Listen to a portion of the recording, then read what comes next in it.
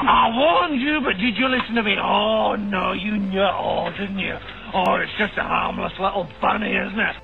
Hi everyone and welcome to another Heroes and Bosses video. This time I'm painting the Abominabunny from Green Horde. I'm going to start off by creating a custom base for the bunny. As hilariously tiny as this guy is, I want him on a bigger base seeing how he's a boss. So I've cut out a skeletal hand and now I'm cutting all around the bunny with wire cutters. You could cut him off the base, but this way he'll be somewhat elevated on the new base and there's no risk of damaging him. So I have a plain, unused base, and I'm going to decide how I want everything arranged before I get out the super glue. So once that's figured out, I'm gluing the pieces to the new base and giving it at least a half hour to dry. Next I'm using Stirland mud to make everything look more natural, though Vallejo earth or other mud textures would work just fine. The first thing you want to focus on if you're doing this as well is to make a slope leading up to the bunny.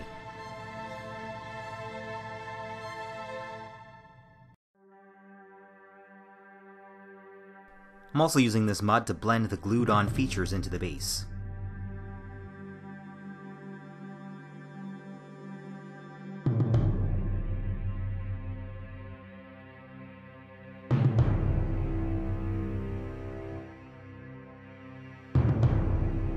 The Stirland mud is also going to be my glue to attach a couple rocks. This first one is actually a piece of cork, and the second is a small pebble. Once that's dried, I'm priming the whole miniature with Mechanicus Standard Grey Primer. I don't normally start with the ground, but it's going to need a lot of dry brushing, so better to do it first. For the ground, I'm using Army Painter's Dirt Spatter.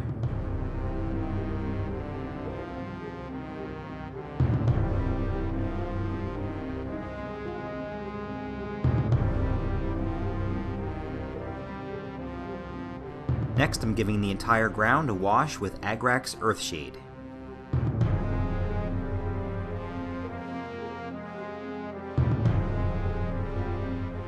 And to finish the ground off, I'm giving it a good dry brushing with Steel Legion Drab.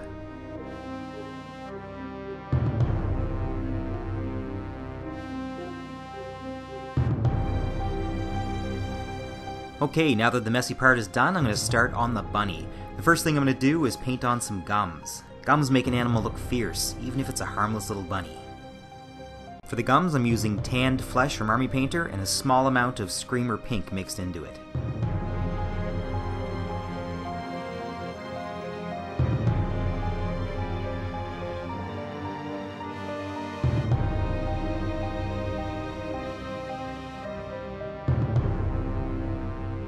Next I'm painting the body using a roughly 2 to 1 mix of white scar and Hammerfall khaki from P3.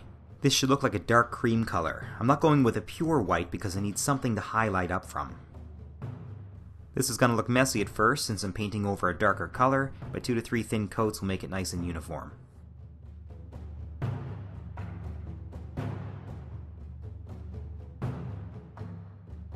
Next I'm painting the teeth, and for this I'm using Vallejo's Ivory. I'm being careful not to hit the gums, but if I do, I still have the pink color on my wet palette and I can touch it up. From this point on, I could not stop laughing at how funny this huge grin looks like on a tiny rabbit.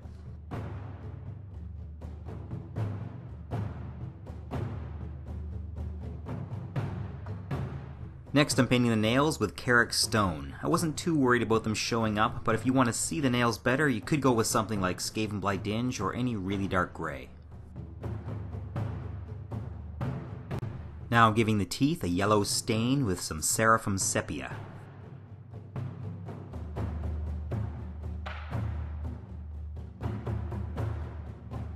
I'm going to put a wash of Agrax Earthshade mixed with an equal amount of water, but first I'm brushing over the body with a wet brush. This is to help the wash settle into the recesses. I don't normally do this, but I don't want the wash to stain the white color. So here you can see I'm selectively applying the wash. I just want to slightly darken all the folds in the fur and the underside of the body.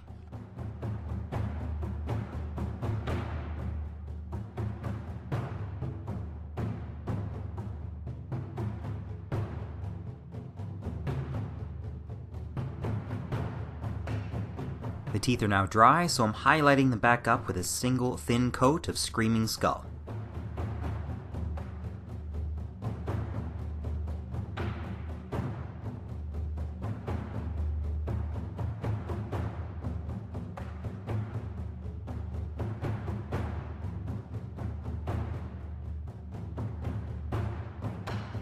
Next I'm doing the eye, and I'm starting off by covering the eye with Daemonic Yellow. This color doesn't coat very well, so I put on three thin coats onto each eye. Luckily they bulge out quite a bit, so they're easy to paint. Once that paint is dried, I'm covering both eyes with Fuegan Orange Wash.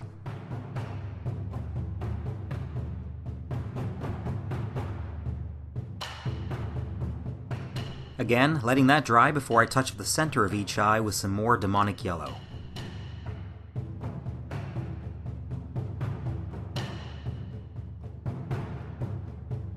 Next I'm painting the inside of the ears and the tip of the nose. I'm first going to mix two shades of pink using Screamer Pink and White Scar.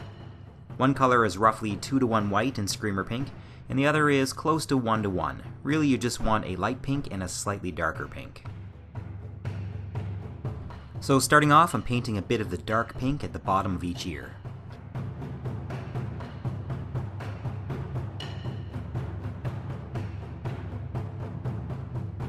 Next I'm taking the lighter pink and painting the rest of the inside of the ear with it. After that I'm just going to use thin layers of each to smooth out the color transition where they meet. For instance, in this part I put a small amount of the dark at the base, and then using a damp brush I'm just slowly coaxing it up the ear to blend it into the lighter pink.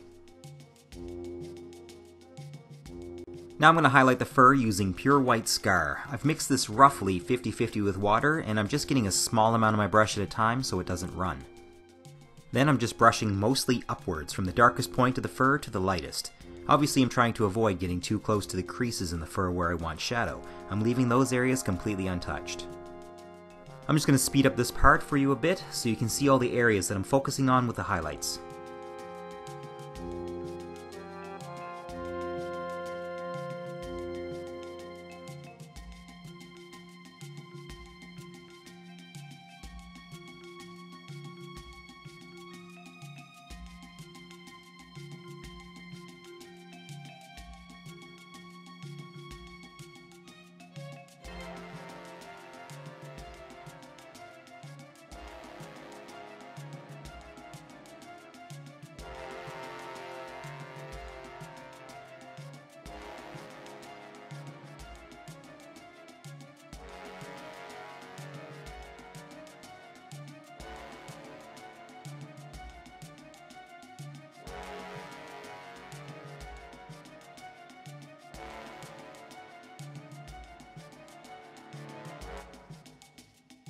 That's the bunny completed, so now I'm going to finish off the base. First, I'm painting both the skull and the skeletal arm with Ushabti bone.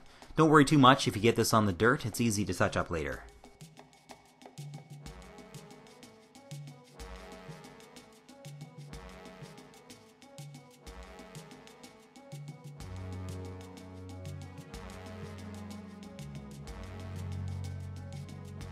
For the rocks, I'm using Mechanicus Standard Grey.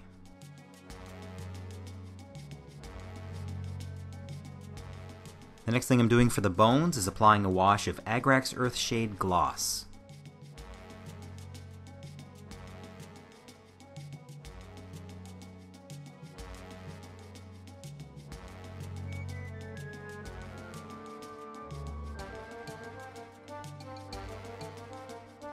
Now I'm doing a simple dry brush on the rocks using Celestra Grey. These are just small rocks, so a dry brush with just one color is going to work fine.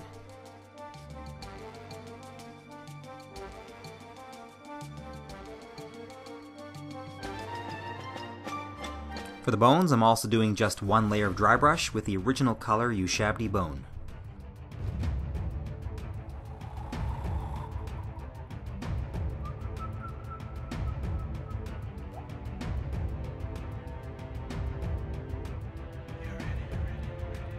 And finally I'm going back to the dirt spatter and cleaning up any spots in the dirt that were hit by the dry brushing.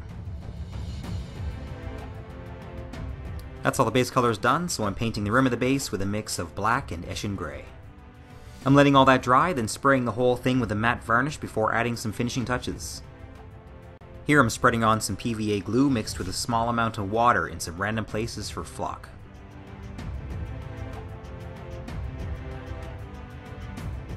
This first bit of flock is Summer Blend. It's a really fine and mossy looking, and I'm only giving that a minute or two, because I'm really impatient near the end, before I add some more glue and sprinkle on some citadel grass.